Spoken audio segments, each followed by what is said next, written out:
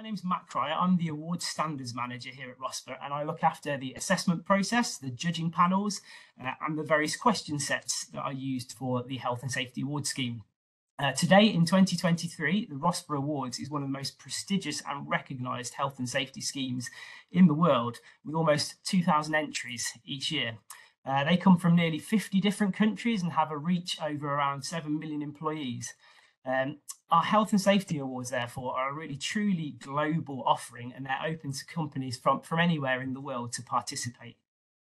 Um, we'd hope to be joined by one of our uh, winners to talk about what the awards mean to their organisation today.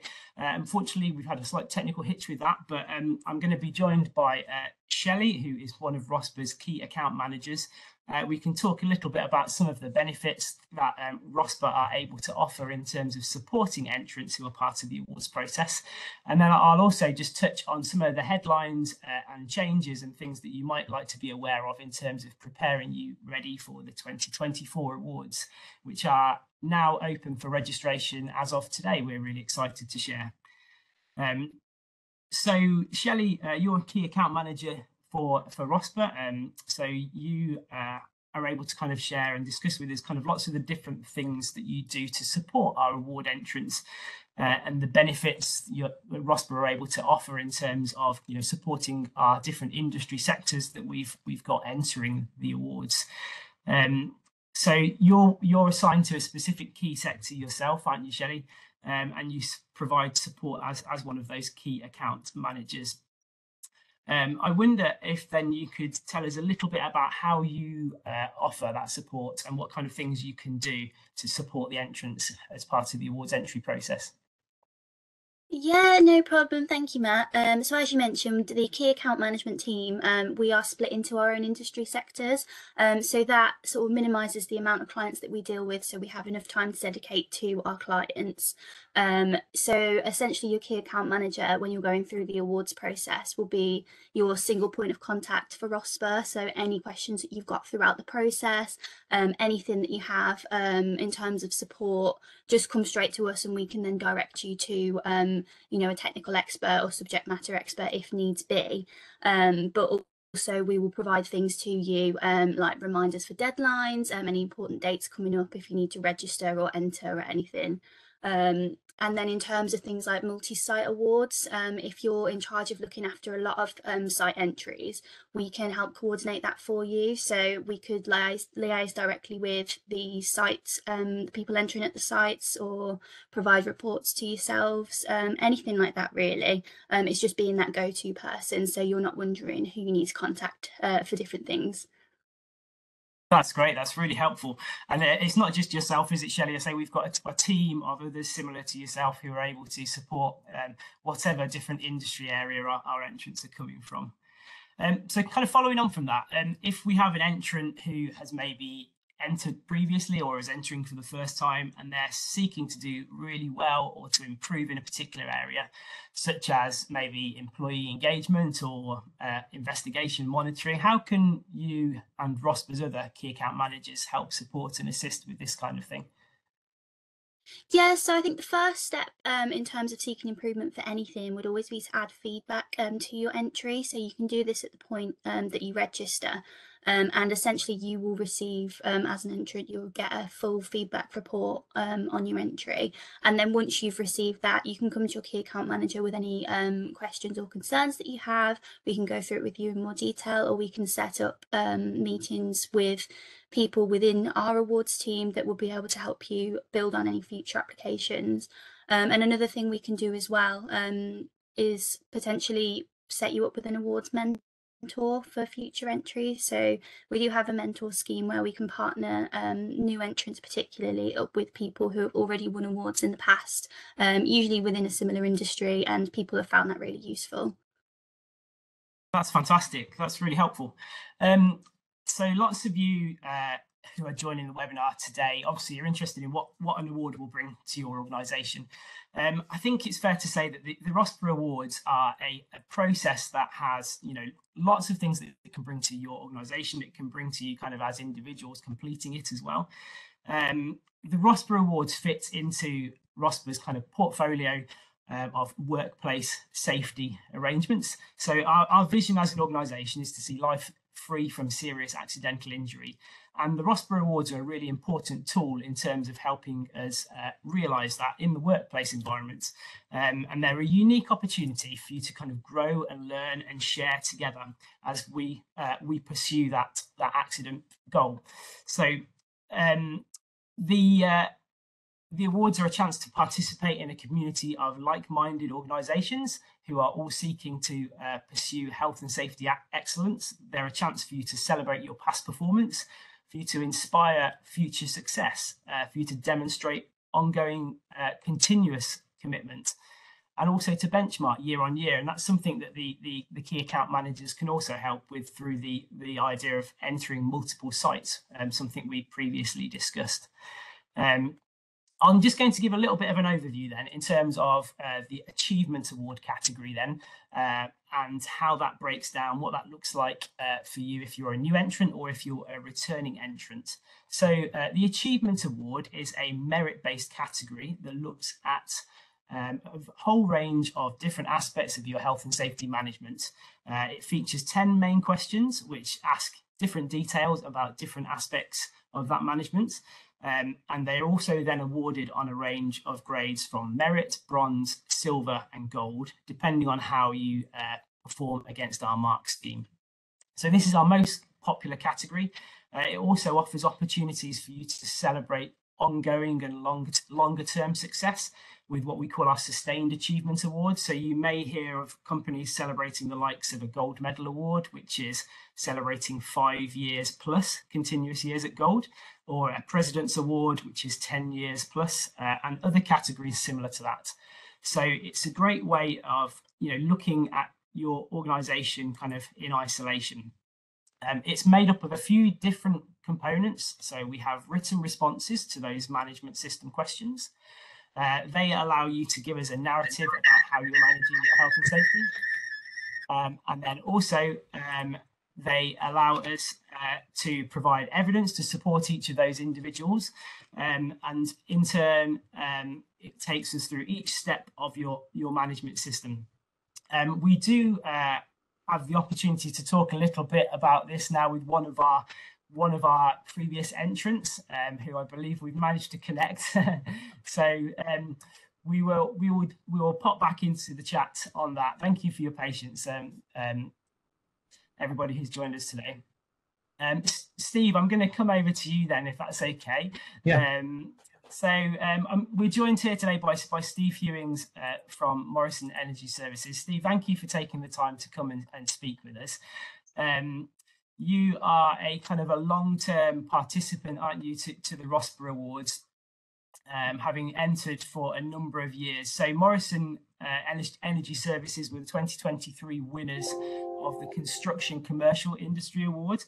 Um, and as an organisation, they work to uh, repair, renew, and refurbish and maintain the country's gas, electricity, and, and green energy energy infrastructure. Um, Steve, we're, we're really pleased to be able to have you uh, have you with us. We know you've kind of got lots of industry experience yourself, having previously uh, served in the, the army for, for some 20 odd years uh, before making your way through uh, the ranks uh, working for Morrison Utility Services as it was, and now Morrison Energy Services. Um, and we're kind of delighted to have you joining us as uh, as head of health and safety for, for Morrison Energy. Um, so we, we had a few kind of questions to talk to you about today, Steve, looking at um, yep. what winning a RoSPA Award has brought to your organisation. Um, so we we have a few uh, yeah two or three questions to go through. So you've been entering uh, for a total of 22 consecutive years, which is quite an achievement and quite a journey, I'd imagine. Um, how how do you feel that the awards has helped with the ongoing development of the health and safety culture uh, and health and safety excellence at, at Morrison Energy Services? Okay, can you all hear me? Okay, first of all, I apologise. Okay, I had technical security issues with coming into this. So uh, you're loud and clear. You. Thank you. Okay, so first of all, the culture really within our business um, and supporting the RoSPA Awards and being part of the process and being um, going for the awards, particularly the Sir George Earle Trophy, trophy provided probably demonstrable and visible commitment from our organisation, the senior le- senior leadership team, really, as to the required standards, standards, and and the expected um, standards across the business, and it also sets a tone and the expectations from the top for the health and safety across the business. What it does as well, it, it, the culture really it raises and maintains a health and safety profile in the business, and additionally, the, the, the profile of our department as well. It does a lot for us. There's a lot of hard work, believe it or not, but it provides a lot of reward, and particularly for the people that do it, it supports what they do and it gives a reason for it to everything they do, and um, it really really adds to the value from a check perspective. And like I say, it is hard work, but it does boost the morale of our team, um, both internally and externally. People in the wider business who support the uh, the process and make it particularly worthwhile. So really, as far as the culture goes, just to round that off, in general, the awards process supports the ongoing process within our health and safety con- uh, culture within Morrison Energy Services. But in the main, we actually believe that health and safety is fundamentally concerned with our people. So as a result, really, we feed back the success to our people and they join in as part of the uh, the team to to kind of be part of it, but also accept the success across the wider business. That's probably really the culture side of things. That's fantastic. That's that's really interesting, and I think um, I think cultures. The fact that you've been kind of going on for, for 22 years, culture is very much a, a, a journey, isn't it? It's a, it's not something we can turn around and, and steer quickly. But um, I think um, yeah, you've you've been on a you know a, a sustained journey with the awards. Um, I think thanks, Steve. You're also part of quite an ex- exclusive club, aren't you, within within Morrison, uh, in terms of organisations who won the Sir George Earle Trophy on, on more than one occasion, uh, which is a really fantastic achievement. Um, how has that success and maybe your your other success at the industry sector level uh, demonstrated kind of consistency through the years that you've been entering? And, and how has that maybe helped gain trust and respect amongst your, your stakeholders and those that you're working with? Yeah, so it's pretty much really a continuation from the sector awards, but you know, following the um, the sector awards, then we go on to an internal audit and a confirmation process for a series of site visits. And going through this on many occasions, really, um, and being awarded the Sir, Sir George Earle Trophy, it provides a, a, a good assurance of our management system to not only the business, our leaders, our clients, um, with the necessary assurance, really, gained both internally and externally, a lot of trust and a lot of respect, you know, particularly with, you know, our clients, our tendering processes, all that type of stuff, to give them the confidence. We've got a, a, a proper, demonstrable, robust system in place. Um, and it's also probably the best in class kind of um, audit process you could probably go through um, as, as a business Okay, so it's really worth doing. And if you get to that stage, you, you get an option whether you go for the Sir George Earle Trophy or you decline. And I would certainly recommend it to uh, to go to to to go through and hopefully achieve in going forwards. That's fantastic. I think um, so the Sir George Earle Trophy stage that you mentioned, obviously, it's now got a couple of additional steps, hasn't it, for those for those entrants who who take part in it. So, um, for those of you who are entering the Industry Sector Award or considering entering the Industry Sector Award, that process now uh, includes uh, two additional stages. So, one of those being a, a visit to, to the site uh, or a typical example site by, by ROSPA consultants and, and judging panel representatives. Uh, that allows us to see various things in practice uh, that have been described in the entry submission. So uh, it gets us the opportunity to speak to people at different levels of the organisation, uh, as we would have done when we paid a visit to, to Morrison Energy Services.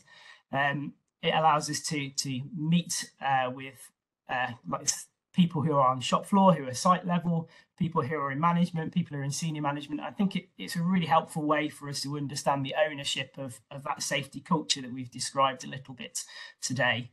Um, we also have a, a second stage to the, the Sir George Earle Trophy, which requires a presentation to be made to our, our judging panel. Uh, and that now has some kind of key links to ongoing legacy uh, in terms of how you can help educate others based on your learning and success. So now the Sir George Earle Trophy includes uh, additional stage for uh, engaging with a future legacy and learning project with ROSPA um, as a result of that success. So I think they're both, uh, you know, demanding additional stages to go through, aren't, aren't they, Steve? But they're they're exciting and they're and they're really really uh, interesting as part of the overall process. Um, in terms of real world success stories, Steve, um, from award winning organisations, they've always been a really important thing for us to share within our forums, within our webinars, because uh, we're really keen to help foster a community of, of like minded organisations who are striving for continuous improvement in safety. What examples might you be able to reflect on from Morrison Energy Services, uh, thinking around how uh, transformative changes have maybe occurred or things that you've experienced or implemented in, in the last few years? This might be particularly of interest to people as well, I think, because we've now got a question in the question set, uh, question 11 in the achievements and industry sectors uh, that looks at this kind of thing. You know, what are these kind of uh, transformative changes? Yeah, a couple of little bits really I'll touch on, Matt, and thanks for that. Um, our cultural development program in the business is called It Starts With Me. Obviously, starts with the individual looking at the wider kind of cultural um, aspect of health and safety. And since um, the success in, in the ROSPA Awards, that's been adopted now by the five divisions of M Group services, but kind of lower down the scale, really. A couple kind of small initiatives and uh, campaigns I could touch on is probably our people and plant interface. Um, obviously, a major hazard in, in the works we we kind of do. That's been adopted by again the five um, groups, the five divisions of M Group services, but also a lot of external organisations. Even gone as as far as Dubai, which is quite a, uh, a pat on the back and quite nice to hear. And another one, another aspect as well, kind of lower level approach is our vibration management, which we um, got a series of uh, processes and procedures that we, we produced in conjunction with the Off Highway Plant and Equipment Research Center. And that's been adopted across the group as well, but even gone as far as the US military. All right. So uh, another kind of success story as well. And what we do as, as a business, we're very open and transparent about what we, um, the initiatives, the processes, the procedures, etc. And we're more than happy to share with our subcontract workforce and even a wider industry. We actually believe what we're doing is is for not just our own safety, but it's for everybody. And as far as we can get it, we, we will pass it out to people and share it. So thank you. That's great. Thank you. That's uh, that's really helpful. Um, I think um, I think something else that we've kind of we've kind of included in the awards process and that you've touched on a little there um, is this kind of idea of kind of self-reflection. Um, so I think self-reflection is, is something that we've built into the awards process throughout now. Um, encouraging this, you know, it's not the awards entry isn't just kind of filling in a range of questions. It's not just a tick box exercise, but it is this opportunity for you to have a bit of a self audit to think about what's been going well over the last 12 months um, how do you kind of engage in reflective practices like that yourself, Steve, with with Morrison? Is that is that part of the way you work? It absolutely is, yeah. And it's a it's a kind of it's a, it's a tip really to take things forward. Is reflect on um, and if you're doing the awards, reflect on what you've done in the year, the good, the bad, the not so good, your your performance, etc.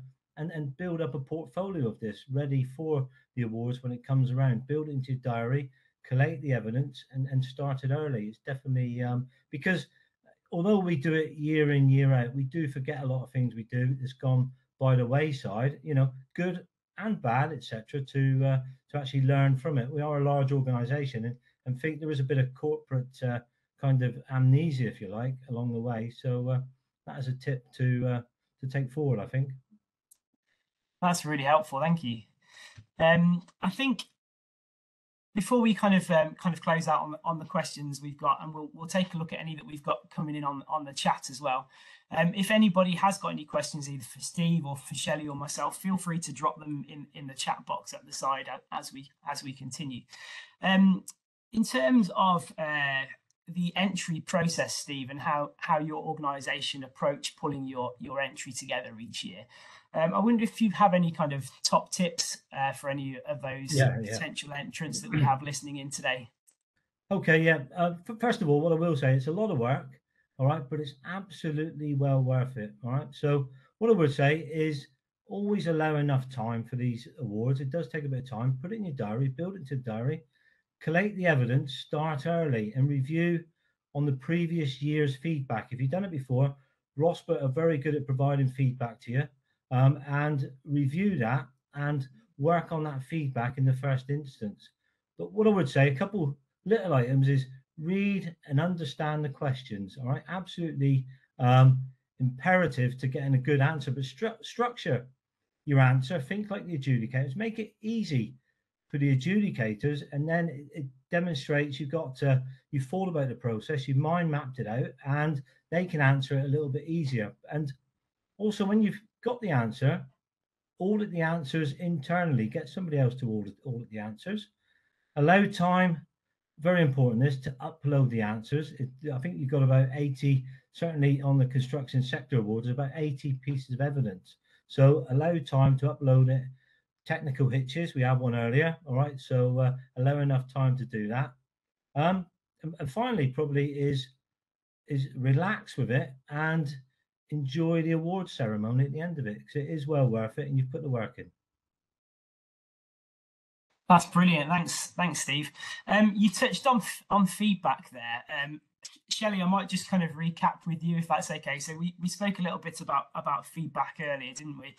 Um, I think we've we've got the opportunity for entrants to sign up um, for for feedback in the forthcoming 2024 round, uh, which we're, we're now heading into. Um, are, are we able to kind of um, engage with entrants on their feedback reports that they may have received as part of 2023 and how could you support that with the other key account managers in terms of that process? Yeah, definitely. I mean, anyone who has refe- um, received feedback from their entry from last year or previous years, um, if that has raised any questions, then we would be more than happy to pick that up um, and see if there's anything we can do to improve your future entry. Um, so yeah, it's definitely something we can look at. Um, just bring it to us. That's great, and we can signpost people in various different directions, can't we, for for any support, be it entry support or be it um, support on some of the you know the background policies and procedures that you may want to develop more, uh, potentially based on some of the feedback that you've had. Um, I think you, the preparation thing that you just touched on there, Steve, was was really helpful. I think um, we are now in a position that we're, we're opening registrations for 2024, um, and by getting in nice and early, I think particularly if you are doing this for the first time, um, it gives you the maximum amount of time to um, to put that entry together and, and, break it down, like you said, to diary it, stage by stage. Do you do you share out kind of the content and the responses around your team to kind of to work on it as a group, Steve? Or yeah, absolutely. I'm, i mean, I'm very fortunate. I got a um, a SHEQ analyst who, who works um, alongside myself, and she is absolutely brilliant at collating information throughout the year, putting it all into the all into the separate folders for each of the uh, each of the relevant questions to uh, to PDF to to introduce and to submit as part of the awards as as we go along. And being being the analyst as well, she's very good at uh, putting the figures in the in the back end of the uh, submission, depending on what uh, award you go for, to uh, to demonstrate that as well. So definitely prepare early and collate as the year goes by is what I would say. That's fantastic. And I think in terms of that evidence that you just mentioned, kind of filing and, and, collecting together, we're not looking for anything that's kind of particularly bespoke or created specifically for the application, are we? This is just kind of day to day working documents that show and demonstrate and support um, the narrative that you're you're describing. So they support how you're describing your safety management system working, aren't they? Absolutely, Matt. You know, and I, I always believe as well, it's better to see a document that's been used on site and been utilised rather than a nice shiny brochure. And I, I think Ross would agree with me as well that uh, you know they want to see something that's embraced by the workforce and is providing some sort of value and benefit. That's great. Um, I'm just going to turn to a couple of questions that we've got coming in on the chat.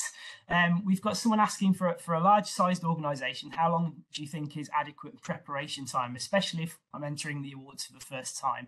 I think that's a really good question. Um, so by registering early, um, you can maximise that preparation time. So with with the awards registration opening now, anybody that kind of starts with a registration in the near future, in the in the next week or so, would potentially have the best part of uh, three and a half months to pull this together.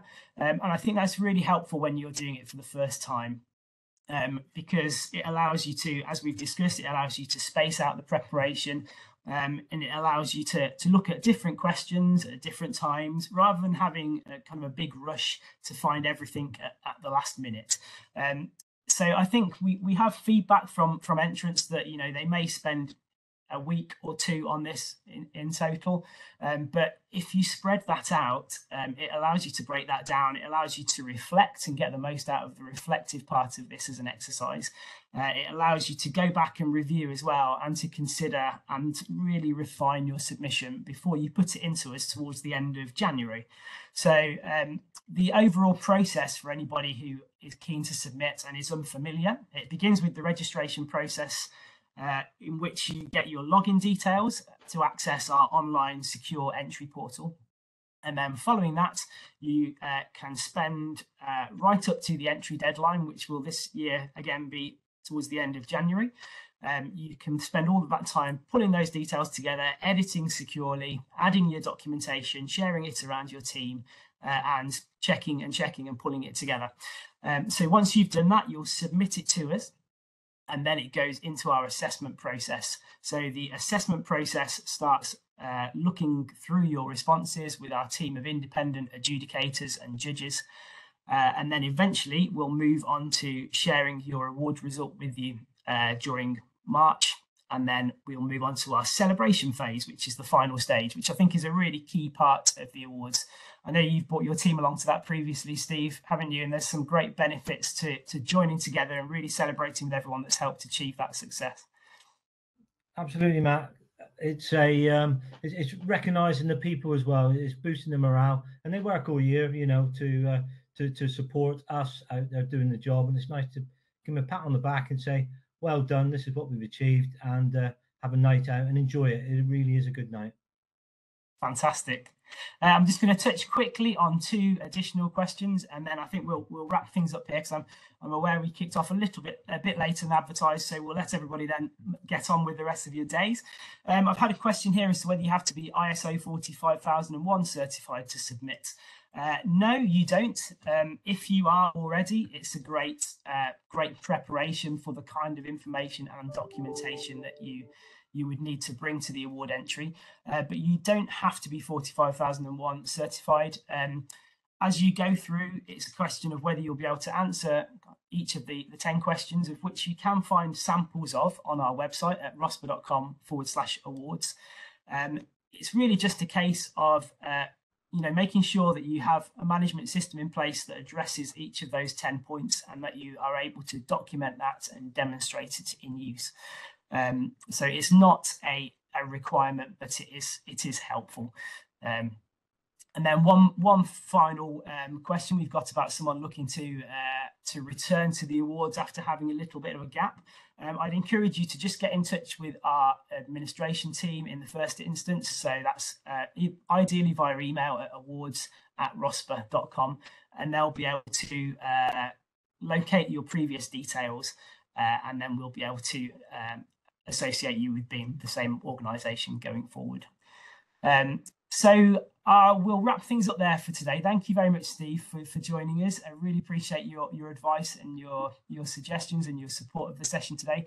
And thank Pleasure. you also, Shelley, for um, kind of helping us understand a little bit uh, how our key account managers can support those uh, in the awards process, whether you're new to it um, or whether you're returning after 22 years in the case of, uh, of Morrison Energy Services. Um, if any of you have asked questions that we've been unable to uh, log or respond to in the session today, don't fear, we will come back to you individually.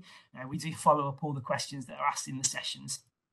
Um, Alternatively, you can still reach out to our awards team via that same address we mentioned. So that's awards at rospa.com, uh, and we'd be more than happy to assist uh, and direct any questions that you have there.